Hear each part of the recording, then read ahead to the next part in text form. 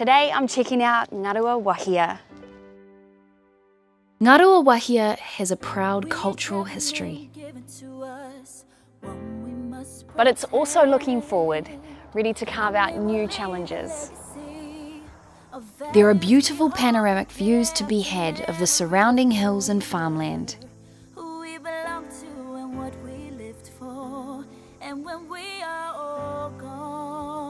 Or take a stroll into town and enjoy the vibrant community run markets on a Saturday morning.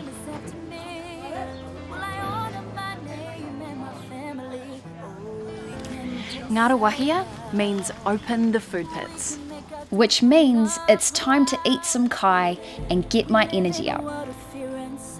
The Te Awa Cycleway is a great way to meet people. It's accessible to everyone and stretches all the way along the Waikato River.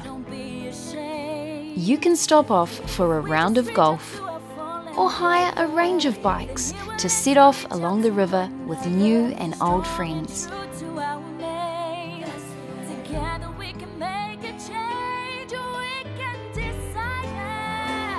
Ngaruawahia is a town full of pride and traditions.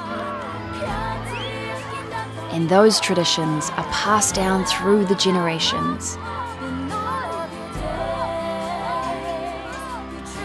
So enjoy an easy ride alongside history to where the Waikato and Waipa rivers meet.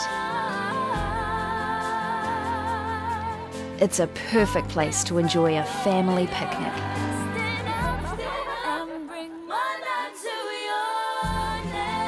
Or if you're up for the challenge, try tackling the Hakarimata steps, where you will be rewarded with amazing views out over the Waikato.